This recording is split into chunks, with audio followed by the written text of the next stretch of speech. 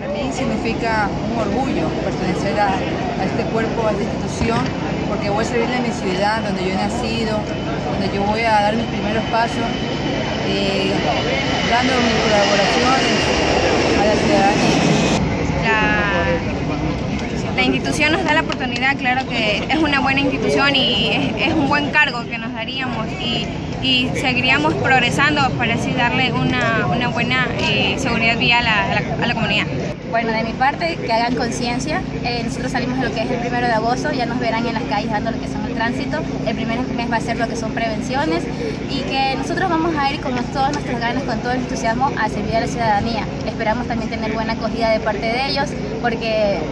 vamos a recién a comenzar y esta la TEMEC acaba de nacer y nosotros vamos, somos, es un gran orgullo ser la primera promoción y dar ejemplo a muchos jóvenes para poder servir a esta hermosa ciudad y que los conductores, peatones, pasajeros también hagan un poco de conciencia para que puedan en lo que son, en lo que son las vías poder salvaguardar sus vidas y que nosotros estamos dispuestos y atentos a dar nuestra mejor disposición para que esta ciudad siga progresando.